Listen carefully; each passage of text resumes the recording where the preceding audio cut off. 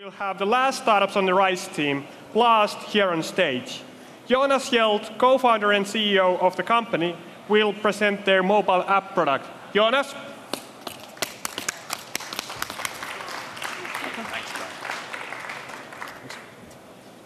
Thanks, guys. Thanks, guys. Uh, pleasure to be here. Um, really nice to be here. Um, and and um, uh, I, I, must say the event has really hiked up from the previous year. It's, it's really amazing to see so many people here and everyone very happy about the event. So great to be here. Um, I'm going to spend 15 minutes with you guys. Um, I'm going to talk a little bit about what we are doing uh, with Blaast, but I also really want to kind of uh, tell you something new, something I really think you haven't thought about so far. And uh, the topic is the really big opportunity in the emerging internet economies. So I really think that the biggest mobile opportunity right now isn't in the iPhone, high-end Android market. That's, that's where everyone is, but there is also a really big market outside that. So let's have a look.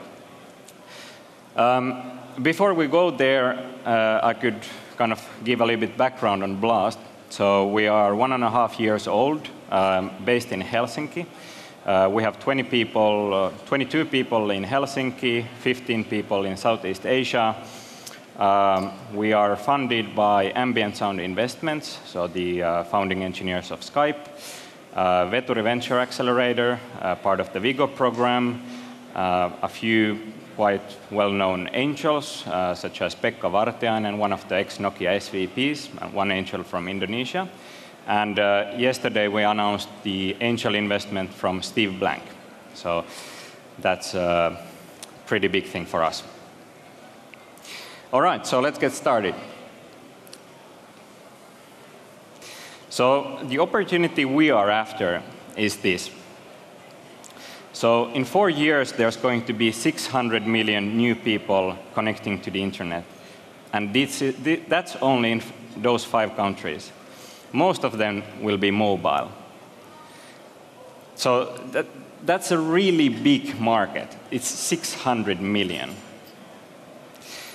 And currently, this is the experience that we are going to offer them.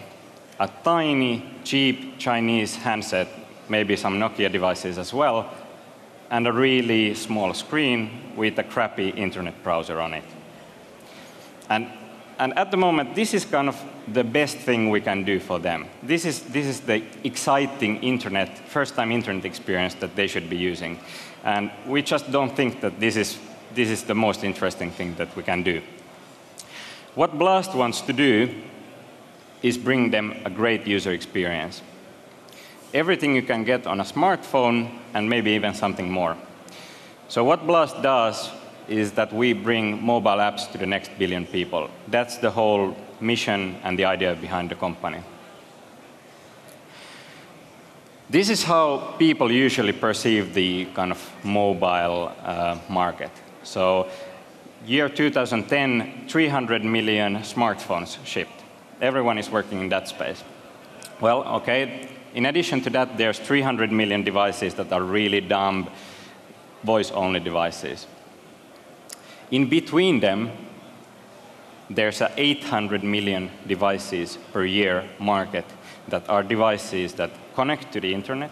They have this, uh, some kind of internet browser, and they can run something on the device. And this is the market that Blaast is after. These, these are the kind of devices that we are mostly interested at the moment. So big players there, of course Nokia, but especially MediaTek, the Taiwanese semiconductor company, fabless semiconductor. And it's growing. It's not a declining market. It's just that the smartphone market is growing uh, quite a lot faster at the moment. So how we do it is that we actually don't run the application on this crappy device. As long as the device has enough big screen, we can work with it, and the application actually runs on our cloud platform. So that's how we are able to bring a really good user experience. So as a consumer, what you need to do, um, you basically download a free client. Uh, it's around 200k, really uh, easy to download, doesn't cost you anything. You start it up, and you Im immediately get access to all the applications that we have. You uh, try it out for a couple of days. After the couple of days of trial, you pay. And the options are daily, weekly, monthly. Very simple, nothing else needed. It includes data, it includes everything that you need to use these applications. And that's really all the applications, all-inclusive package. And uh, for some applications, you can also purchase additional things like um, new game levels or such things with the in-app purchase. Okay, so now we have the users interested. The next thing we need is the developers. So this is something that is quite difficult to do. Uh, how to get the developers interested. So what we have done is that we have built an SDK. As a developer, you just go to developer.blaast.com, you download the SDK, it's free, start developing, it's JavaScript, very straightforward. If you can do HTML5 apps, you will get it in no time. It's very fast to uh, work on. Uh, you immediately see the results, and it will work on all the devices that we support. So when your application is ready, you publish it, and you, get, you start getting revenue every month based on the usage. So let's say uh, I buy one day of Blaast. I use five applications. What happens is that the revenue will go to those five developers of the applications that I used. The more I use it, the more they get revenue. So it's kind of, you could say Spotify, but for mobile apps.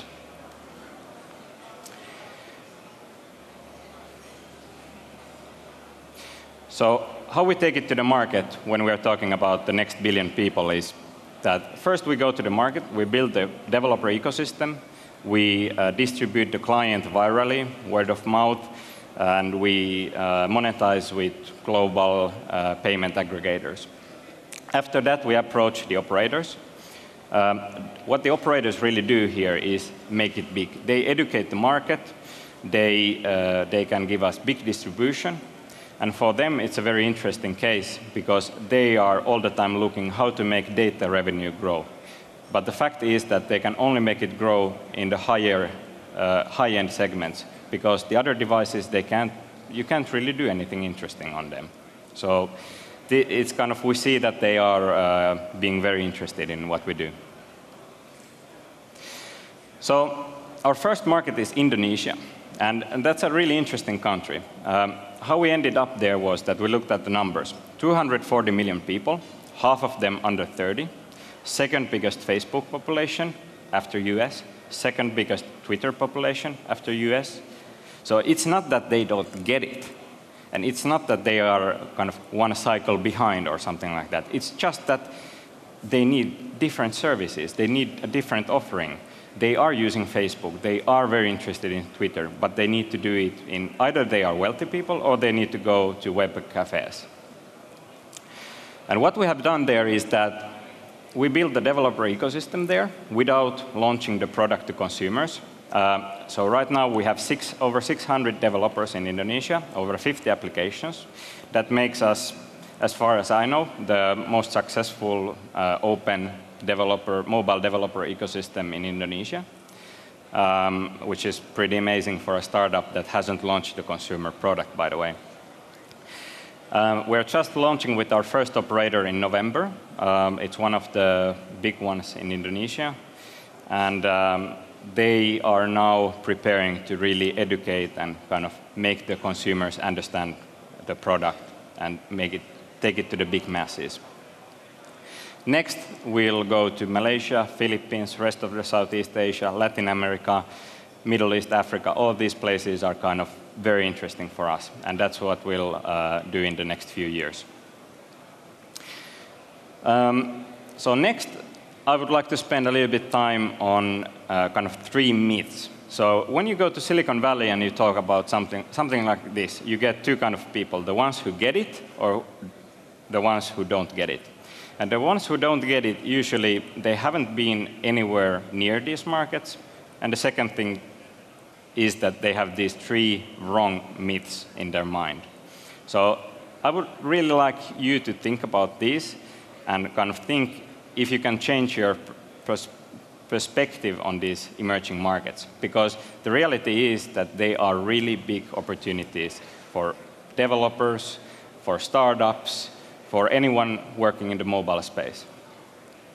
So the first myth is that everyone will have an iPhone in year, two years, five years, or maybe you change the iPhone to Android or something like that. But that's not true. Uh, these markets are extremely price sensitive, and there will be always a high-end offering and a low-end offering. What will happen is that phones will get smarter, and we want to be part of that. We want to make the phone smarter as fast as possible. But it's just not a question of simply putting more horsepower and having a cheaper price tag. If we're talking about smartphones, what makes them smart is the application ecosystem, the open developer ecosystem. And what we see happening now is that no one is actually fixing those issues. Low-end Android is very difficult to develop. Um, Low-end Android devices, they are old Android devices. They are, they are worse than uh, early Symbian devices. Um, what you see Nokia doing is exactly in this direction. They are trying to make even the cheap phones smarter.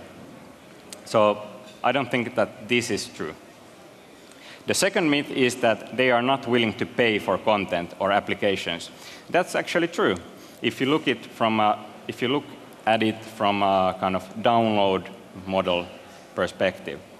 But if you look at what Indonesians, for example, or other people in Southeast Asia are doing, they are crazy about uh, BlackBerry, if they are wealthy enough to use it.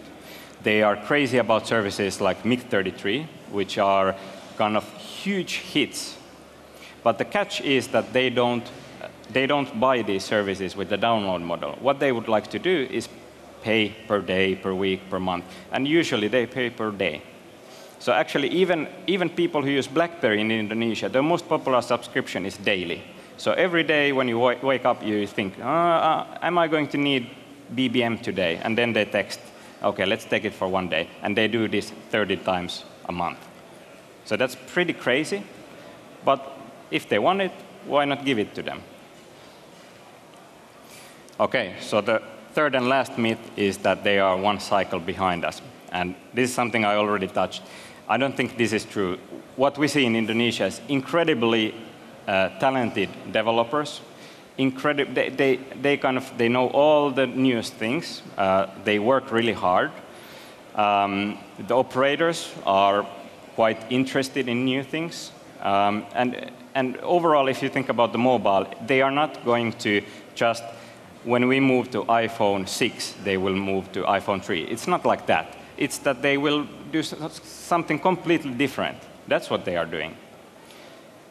And the idea that I want to leave with you guys is that do you want to do something that enables them to use new things?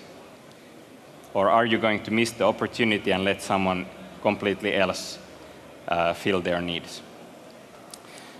Um, so this was uh, what I would what I wanted to share with you today. Um, we are hiring like crazy. So if you are talented about um, mobile applications, um, doing pretty impressive cloud stuff, um, about marketing, these kind of things, be sure to check out our website about uh, different jobs that we have at the moment. All right, thanks.